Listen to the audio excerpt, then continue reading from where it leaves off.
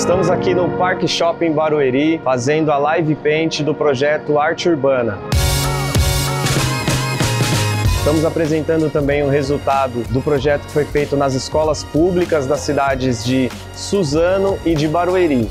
Um projeto que teve como assunto principal o consumo consciente da água. As melhores ilustrações serviram de inspiração para o grafite que foi feito no muro das escolas. E hoje estamos apresentando o resultado disso através de painéis e também de um grafite ao vivo com a monitoria de um grafiteiro da cidade. Estão tendo aqui uma experiência de se manifestar, mas ao mesmo tempo passar por algumas informações através do projeto.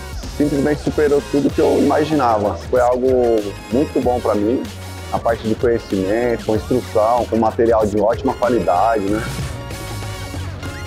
Eu acredito que tem que ter mais investimento para essas atividades, porque algumas pessoas têm interesse em projetos de artes, mas elas não têm dinheiro para poder participar. Eu acho importante incentivar as crianças, principalmente quando se tratando de temas que são sociais. A cultura ela tá ajudando de certa forma assim as crianças a verem o mundo de uma forma melhor. Eu nunca tinha feito, nunca mexi com spray.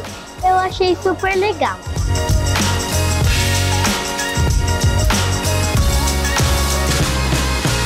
Para mim, realmente me surpreendeu e superou toda a minha expectativa.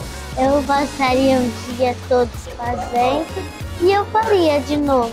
Gostei muito de participar, estou muito feliz. Eu acho que vai ser uma atividade que eu vou tentar fazer mais. A experiência para mim foi ótima. Mano, eu me senti uma criança de novo. Isso foi muito legal. Queria fazer mais isso.